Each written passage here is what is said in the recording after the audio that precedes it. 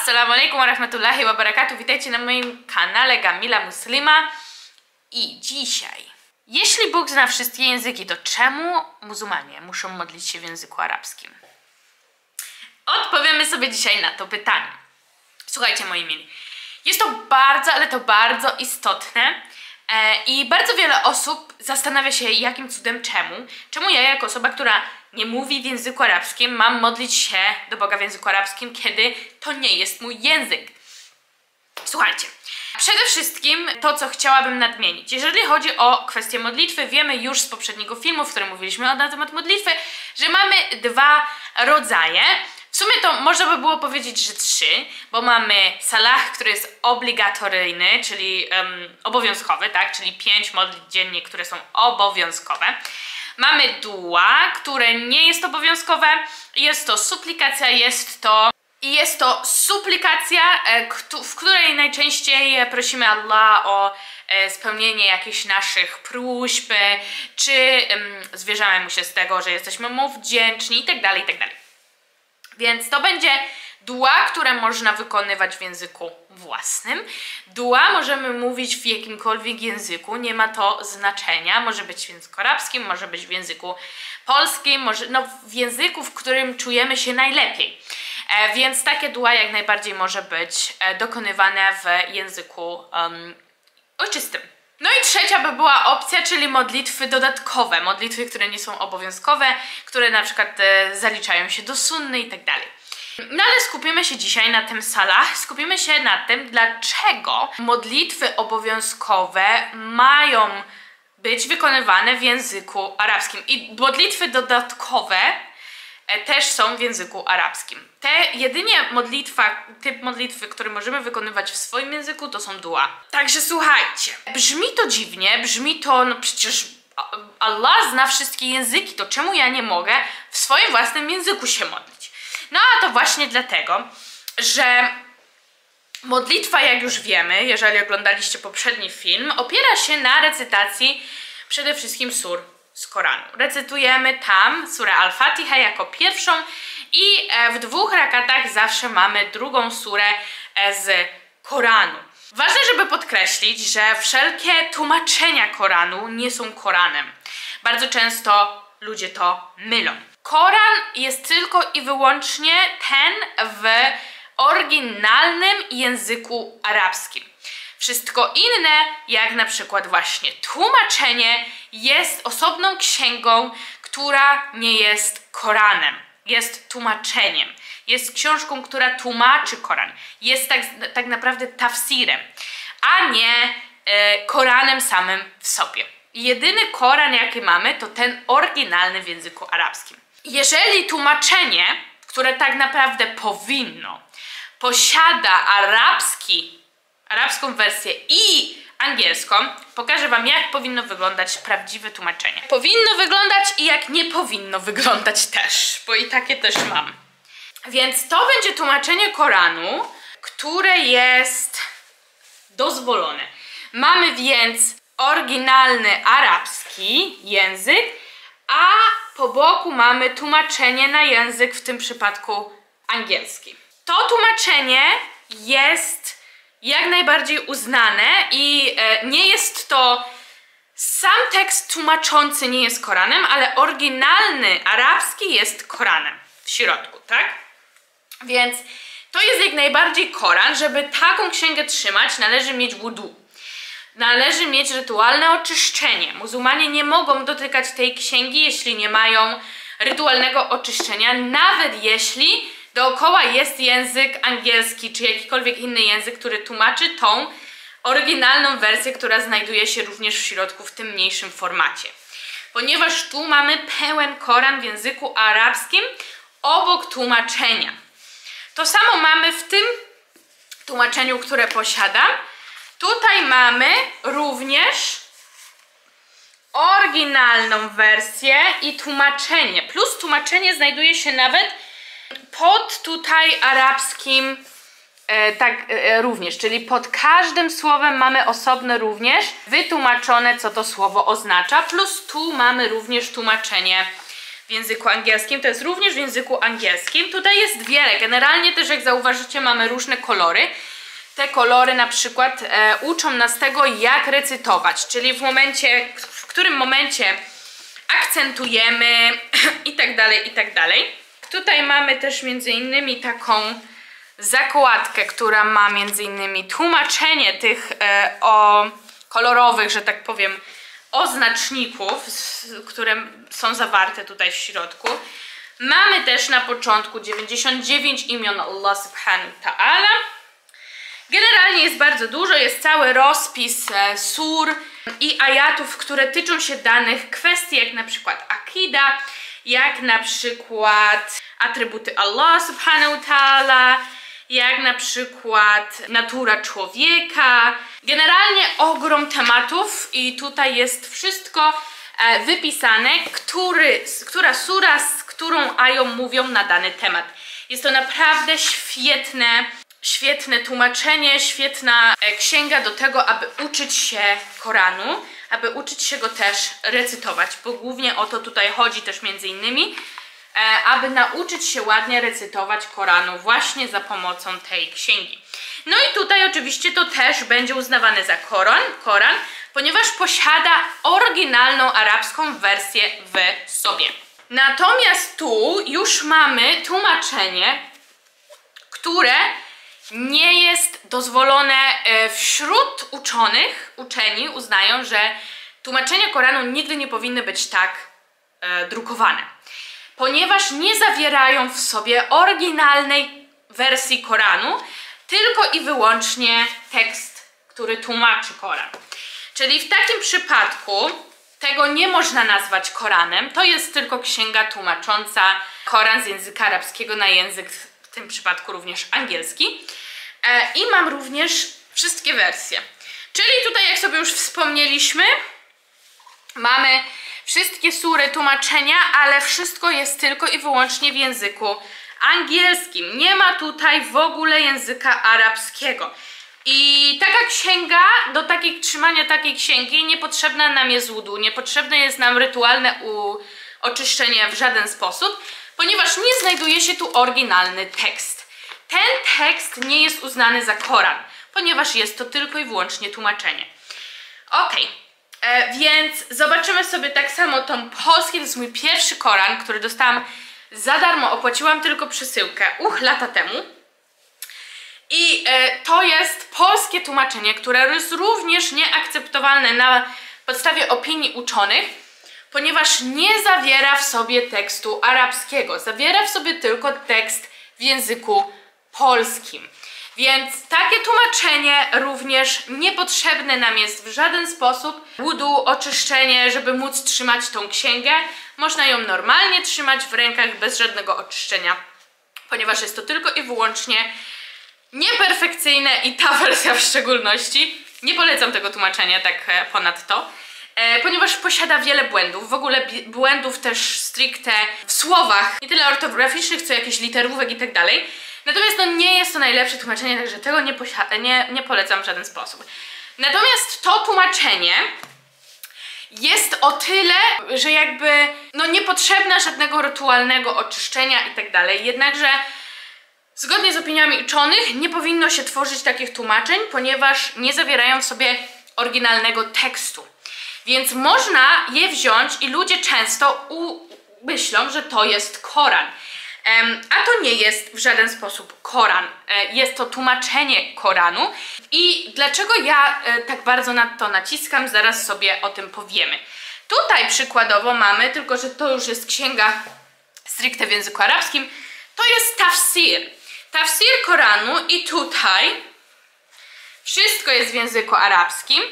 Arabski oryginalny Koran i tu po bokach jest tłumaczenie. Czyli, ale tłumaczenie w formie wyjaśnienia.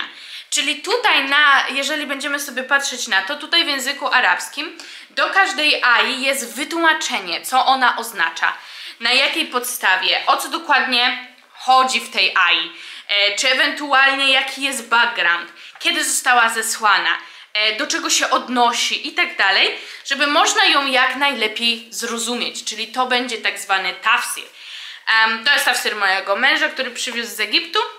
Jednakże tak to wygląda. Kolejna księga, którą Wam na szybko pokażę, to jest księga, która myślałam, że jest dozwolona, ale nie jest, się okazuje. Jednakże jest w pewnym stopniu e, przydatna, ponieważ to jest Koran, nie, nie Koran, tylko w sumie księga, książka, w której zapisany jest Koran w formie, jedyna tutaj widzicie jest Al-Fatiha w języku arabskim, już później jej nie ma. I jest to jak się czyta. To jest w języku, to jest w łacińskim alfabecie. Czyli jak wypowiadać daną surę. Więc em, generalnie e, z tego co wiem większość uczonych uznaje, że nie jest to dozwolone, ponieważ istnieje duży, duże prawdopodobieństwo, że ludzie będą wprowadzeni w błąd.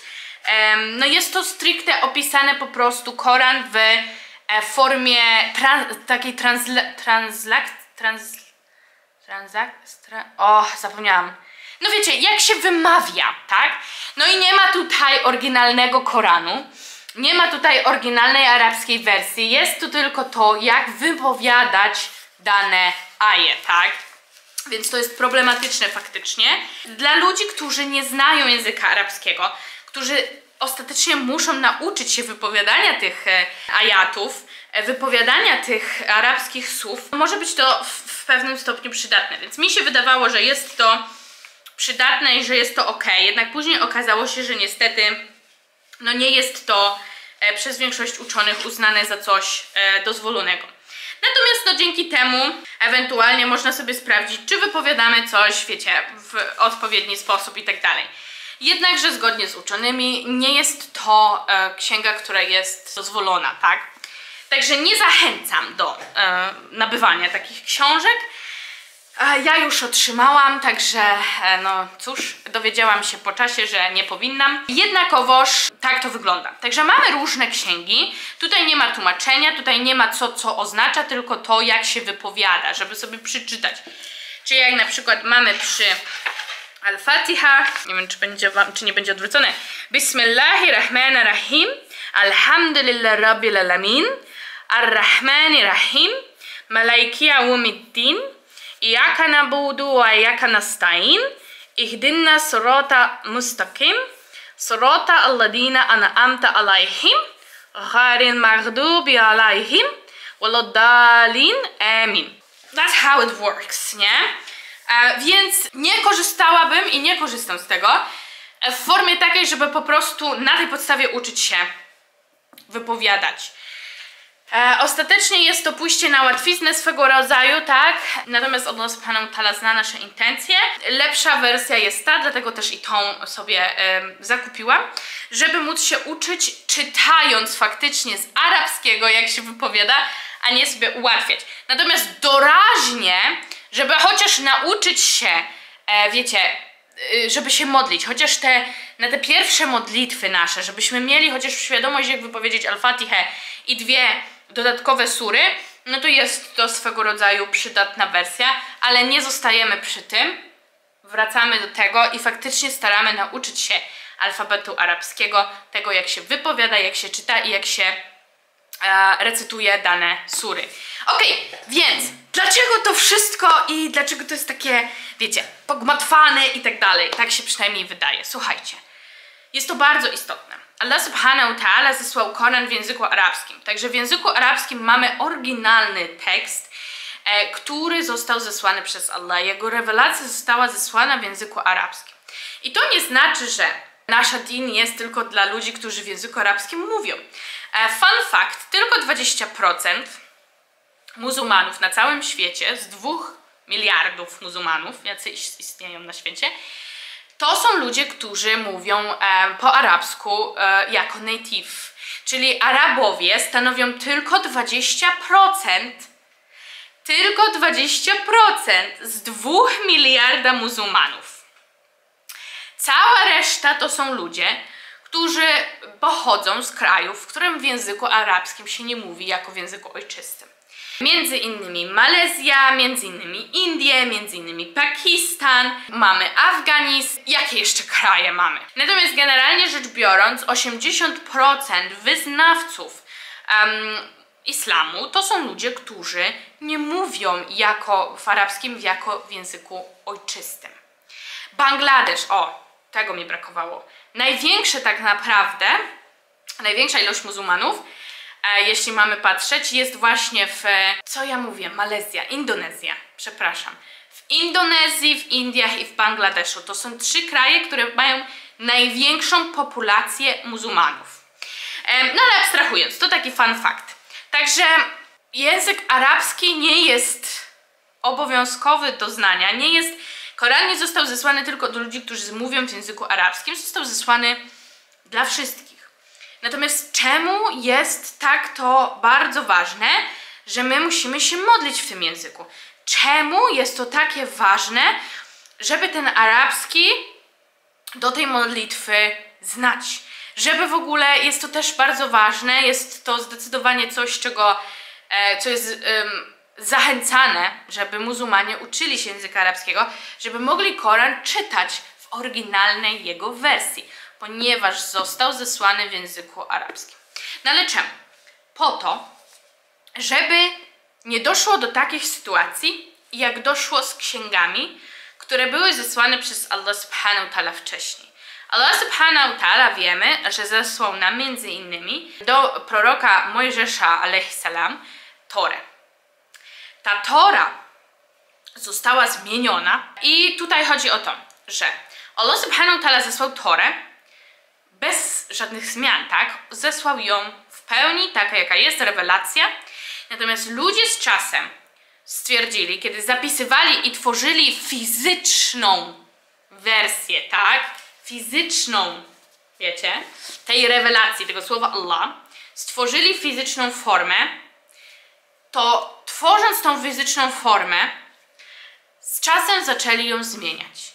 I te zmiany bardzo często, a to głównie widoczne jest e, w Nowym Testamencie, w Biblii, Ewangeliach i tak dalej, te zmiany nadchodzą w momencie, kiedy księga zaczyna zapisywana być w innym języku. I tak w tym przypadku, na przykład, jeżeli spojrzymy sobie na Biblię, Biblia, która zachowała, e, zachowaną mamy taką najstarszy, najstarszy monoskrypt, najstarsza Biblia, jaką mamy zachowaną, datuje się na 400 lat po tym, jak żył Isa, salam Jezus i jest ona w języku greckim. Kiedy Jezus mówił w języku hebrajskim i aramejskim.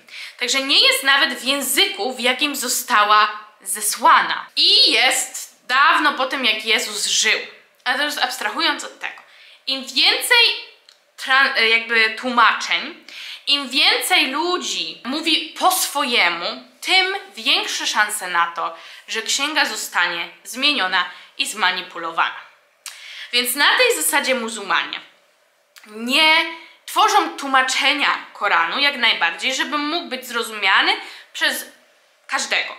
Natomiast uznawane jest to tylko i wyłącznie za tłumaczenie, które nie jest w żaden sposób perfekcyjne, bo jedynym perfekcyjnym tekstem jest ten tekst tu, w języku arabskim. Aby móc zachować ten tekst w języku arabskim bez żadnych zmian i żeby nie pozwolić na to, że tłumaczenie na język angielski czy jakikolwiek inny wyprze ten w języku arabskim i o, teraz będziemy rozumieć tak, jak jest tutaj, my uczymy się Koranu recytować, uczymy się go na pamięć i uczymy się go w języku oryginalnym, w jakim został zesłany, aby móc chronić oryginalny, oryginalną rewelację, jaką zesłał nam Allah subhanahu ta'ala. W momencie, kiedy wypowiadamy sury w czasie modlitwy, wypowiadamy je w języku arabskim, Gdybyśmy zaczęli je wypowiadać w innym języku, one nigdy nie będą miały takiego samego znaczenia jak w języku arabskim. Nie da się w 100% perfekcyjnie od 1 do 1 przetłumaczyć języka arabskiego na inne języki. W szczególności języka arabskiego, który został użyty do Koranu, ponieważ był to klasyczny język arabski, przepiękna jego wersja, która jest trudna do przetłumaczenia. Nie jest to dialekt e, egipski, czy jakiś syryjski, czy nie wiem, palestyński, który mamy w dzisiejszych czasach. Tak samo jak spojrzycie sobie zresztą na księgi, które mamy, których które czytamy na przykład na języku polskim w szkołach, jak spojrzycie sobie na pana Tadeusza, czy jakieś, czy lalkę i tak dalej, język użyty w tych książkach jest zdecydowanie inny od tego, który e, mamy użyte w naszych, którego używamy w naszych czasach. One się od siebie różnią. Natomiast jeżeli chodzi o język arabski, który jest naprawdę trudnym językiem, jest on naprawdę bardzo trudny do przetłumaczenia. I słowa, które są w języku arabskim zawarte i w Koranie zawarte jest bardzo trudno przetłumaczyć tak, aby były one jeden do jednego i znaczyły jeden do jednego to samo, co tu. Dlatego posiadamy między innymi księgi takie jak Tafsir, które wyjaśniają, ponieważ jeśli zauważycie, ludzie, którzy aktualnie na przykład nie znają albo znają, ale nie, nie jakoś bardzo dobrze, arabski klasyczny i na co dzień posługują się na przykład dialektem egipskim, też będą mieli czasami problem, aby móc zrozumieć niektóre słowa zawarte w oryginalnym Koranie. I nawet w języku arabskim znajdziemy tafsir, wyjaśnienie, coś, co ma przetłumaczyć, wytłumaczyć. Dane słowo użyte przez Allah subhanahu wa ta'ala w tym klasycznym arabskim, który był używany 1446 lat temu, na ten dzisiejszy język, który jest e, używany aktualnie, na te dialekty, które są używane aktualnie, żebyśmy mogli zrozumieć, co dokładnie dane słowo oznaczało. I jest to naprawdę bardzo trudne, żeby można było, wiecie, przedstawić, jakby przetłumaczyć dane słowa. Więc więc na tej zasadzie to wygląda. I bardzo często właśnie dochodzi do tego, że w momencie, kiedy zaczynamy tworzyć właśnie tego typu tłumaczenia, ludzie zaczynają je utożsamiać z prawdziwą księgą i uznają, że to jest Koran. I każde słowo co do jednego zapisane w tym tłumaczeniu będą brali jako rewelacja Allah subhanahu ta'ala, kiedy to tłumaczenie jest nieperfekcyjne, księga Allah subhanahu ta'ala jest perfekcyjna. I tutaj mogą znajdować się błędy, a tu tych błędów nie będzie. Dodatkowo też właśnie po to, żebyśmy uniknęli zmiany tej księgi, jak to było na przykład w poprzednich księgach, jak Biblia czy Tora, uczymy się tego Koranu na pamięć. Powiem Wam taką anegdotkę, e, taką ciekawostkę. Bodajże, jeżeli dobrze pamiętam, Shahs al-Ashar otrzymał z Arabii Saudyjskiej Koran w takiej złotej oprawie. No i on sobie ten Koran czytał, recytował. I on zauważył tam, że w jednym miejscu doszło do zmiany jednej z liter. Jedna z liter w danym słowie była niepoprawna. I ten szejk z Al-Azhar z Egiptu skontaktował się i pokazał to w Arabii Saudyjskiej, tam nie wiem, nie pamiętam, chyba jakiś szech, inny szech, nieważne. I pokazał im, tu jest błąd. Znając Koran na pamięć, ci ludzie, którzy zapamiętują go na pamięć, zapamiętują na pamięć dosłownie wszystko, łącznie z wszystkimi literami. Nie samą recytację, ale generalnie cały Koran. I są w stanie zauważyć błąd. Bardzo łatwo są w stanie zauważyć błąd, nawet najmniejszy. Tam bodajże brakowało jakiejś kreseczki, nieważne. Po tym jak poinformował właśnie tam szecha w em, Arabii Saudyjskiej, wszystkie te Korany, które zostały wyprodukowane, zostały spalone, zostały wycofane i zostały spalone. Właśnie po to, żeby nie pozwalać na to, aby jakiekolwiek błędy, jakiekolwiek zmiany mogły zajść w naszej księdze. Kolejna kwestia, kolejna ciekawostka, że bardzo często ludzie przynoszą swoje Korany i kładą je w, na przykład w meczecie proroka Muhammada sallallahu alaihi wasallam. Dlaczego? Ponieważ my wierzymy, że jeżeli podarujemy komuś Koran albo damy komuś Koran, który z naszego serca od nas, od nas, każdy, yy, każda aja, każde słowo przeczytane przez kogoś innego jakby zalicza się na nasze dobre, nasz, nasz dobry uczynek, tak? No bo my podarowaliśmy ten Koran i ta osoba czyta ten Koran dzięki temu, że my tam go położyliśmy, że my jej go daliśmy.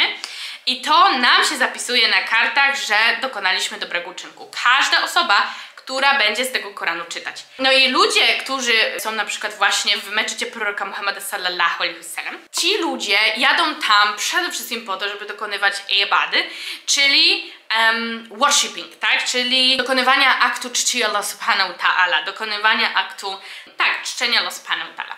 I między innymi mnóstwo ludzi, będąc właśnie w tych meczetach, albo się modli, albo czyta Koran. I żeby móc ten Koran przeczytać, często po prostu sięgają po najbliższy Koran, który znajduje się na półkach właśnie w tym meczecie.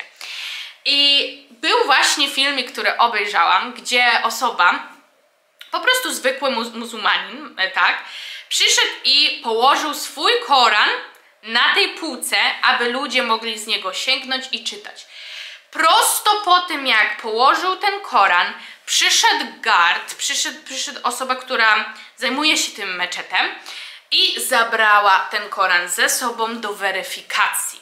Ponieważ żeby ten Koran mógł zostać na tych półkach, on musi otrzymać pieczątkę, że jest on jak najbardziej poprawny, że nie ma tam żadnych błędów, że nie ma tam żadnych zmian. No bo łatwo by było komuś dostać się tam na miejsce, stworzyć Koran, w którym są błędy i później dać to do czytania muzułmanom, żeby na przykład wprowadzić ich w błąd. Więc oni zawsze starają, sprawdzają, jeżeli ktoś przynosi Koran, żeby dzięki niemu uzyskać dobre uczynki na swoje, że tak konto na dzień ostateczny, to takie Korany są automatycznie sprawdzane. Kamery są wszędzie, więc są osoby, jest policja, która e, często jest nazywana haram polista, e, czy islamską policją, która sprawdza zachowania i to, co się dzieje na przykład w meczedzie, tak? I patrzą na to, jeżeli widzą na kamerach, że ktoś położył Koran, to automatycznie jeden z gardów pójdzie, weźmie ten Koran i ten Koran musi przejść przez weryfikację, żeby mógł dostać stampel, że kor ten Koran jest poprawny, nie ma tam żadnych błędów i dopiero wtedy wróci na półki, żeby ludzie mogli go czytać. Jest to tak bardzo ważne i muzułmanie stawiają ogromny nacisk na to, żeby Koran został zachowany w takiej formie, jak został nam zesłany, żeby nie doszło do żadnych zmian, jak to się zdarzyło w przeszłości, w, e, jeśli chodzi o poprzednie księgi stworzonych przez ludzi na podstawie rewelacji dla Subhanahu Ta'ala. Więc między innymi, patrząc na to, że my jako muzułmanie modląc obowiązkowe modlitwy, wypowiadamy sury, które zawarte są w Koranie, nie możemy nie możemy wypowiadać ich w języku swoim. Ponieważ po pierwsze znaczenie słów w języku polskim czy angielskim, wypowiadając te sury, nie będzie to samo, co, co ten język, który wybrał Allah subhanahu ta'ala, żeby nam zesłać Koran. A po drugie, istnieje szansa, że po prostu no, zacznie się to dziać tak, że ludzie zaczną zmieniać wiecie. I dojdzie do tego, że Koran ostatecznie zacznie być zmieniany. Więc my jako muzułmanie mamy obowiązek i Allah subhanahu ta'ala powiedział, że Koran będzie jako, jako jedyna księga, która nie zostanie nigdy zmieniona. Dał nam instrukcję do tego, co robić, aby do tego nie doszło. I my się tego trzymamy. Więc w momencie, kiedy modlimy obowiązkowe modlitwy, wypowiadamy je w języku arabskim, ponieważ między innymi są tam sury, są tam słowa Allah subhanahu ta'ala, które mamy wypowiadać jeden do jeden do słów, które Allah subhanahu ta'ala nam zesłał. Więc generalnie na tym to polega. Jest to bardzo, bardzo ważne. I mimo tego, że jest to niemożliwe, aby zmienić Koran, w szczególności patrząc na to, jak wiele milionów muzułmanów na świecie e, zna Koran na pamięć, cały od pierwszej od pierwszego do ostatniego słowa każdą literkę po literce znają na pamięć, więc nie ma szans po prostu na to, żeby jakiś Koran przeszedł i został zmieniony ostatecznie, ponieważ milion ludzi będzie w stanie zauważyć, że mm, tu jest błąd, nie ma szans. W momencie, kiedy taki błąd zostaje znaleziony, to tego typu Koran zostaje, znaczy cała produkcja automatycznie jest trace, sprawdzamy gdzie, skąd i tak dalej i on zostaje niszczony i nie ma na to miejsca. Więc myślę, że Wam w miarę wyjaśniłam, dlaczego tak, a nie inaczej. Przede wszystkim, żeby zachować naszą e, księgę w taki sposób, w jaki jest, żeby nie dozwolić do tego, żeby ktokolwiek kiedykolwiek doprowadził do jej zmiany. no a druga kwestia jest taka, że po prostu znaczenie słów w każdym innym języku nigdy nie będzie jeden do jeden takie same, jak te znaczenia Allah subhanahu ta'ala, które nam zesłał, um, słowa, które nam zesłał. No i teraz jak sobie zobaczycie, dua możemy wypowiadać sobie w języku, jakim chcemy. I najczęściej dua są dua, które na przykład są jakimiś ayatami z Koranu, um, bądź sunny, tak? E, natomiast jest to opcja, którą możemy wypowiadać, to nie jest stricte, wiecie, obowiązkowa modlitwa, gdzie wypowiadamy całe sury, gdzie wypowiadamy całe, cytujemy Koran w modlitwie, tak? Dua może, może być różne, możemy mówić w języku swoim, więc tutaj nie ma jakby nie ma obawy o to, że w momencie, kiedy robimy jakieś dua, doprowadzimy do tego, że na przykład ktoś zacznie zmieniać Koran albo znaczenie Koranu. Natomiast w momencie, kiedy mamy modlitwę obowiązkową, gdzie cytujemy sury z Koranu, no to tutaj już jest obowiązkowo, by robić to w języku arabskim.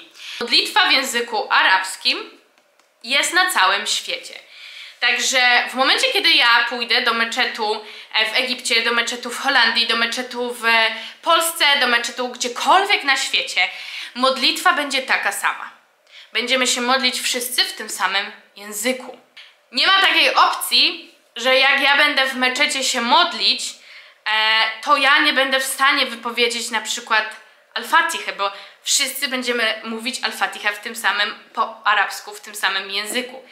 E, gdzie na przykład, nie wiem, e, jakie są tam modlitwy chrześcijańskie, wierzę w Boga, tak, w, które wypowiadają chrześcijanie, w języku, w, we Włoszech już będzie w innym języku i nawet ludzie nie będą świadomi, jeśli języka włoskiego nie znają, żeby, e, czy, czy to w ogóle ta modlitwa, czy to teraz to, czy to to, czy to siamto, tak?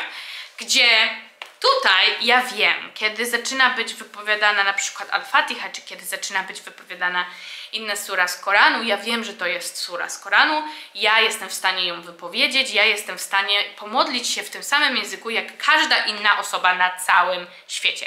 Każdy muzułmanin na całym świecie modli się w tym samym języku. I to też między innymi nas łączy i tworzy z nas jedną ummę.